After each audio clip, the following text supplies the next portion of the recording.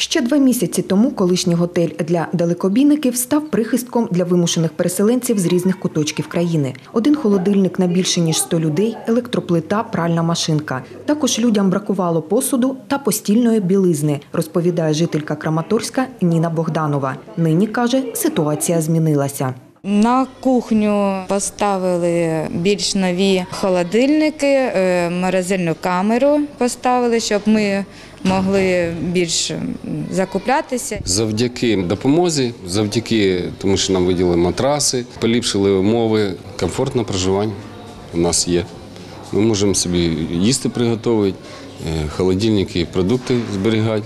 Сучасна побутова техніка, матраци та постільна білизна у хостелі з'явилися завдяки співпраці громадських активістів з Луганщини та програму розвитку ООН. Роботу у цьому напрямку продовжуватимуть і надалі, запевняє представниця громадської організації Громадська ініціатива Луганщини Тетяна Кірілова. Для цього підписали меморандум про співпрацю з керівництвом Росошанської сільради.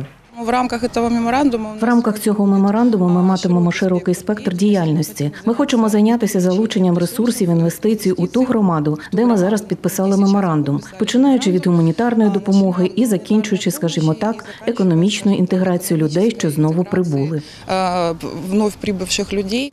Наразі у трьох кімнатах хостелу вже розпочато капітальний ремонт так званих люкс-номерів з усіма зручностями та електроплитою. Звісно, такі кімнати будуть не безкоштовні для проживання, втім доступні для переселенців, запевняє адміністраторка хостелу Валентина Гуцалюк. У нас в номері було душова кабіна, туалет, вода і невеличка кухонька. В даний час ми беремо за свою кімнату 200 гривень за одну добу.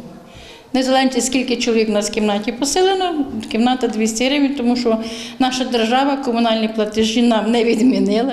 Звісно, цей хостел не замінить людям втрачені домівки, каже Тетяна Кірілова. Втім, зможе стати комфортним місцем для проживання.